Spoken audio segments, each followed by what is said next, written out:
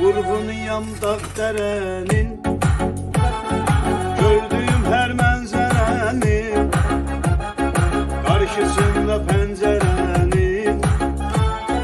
Denlenirdi bir av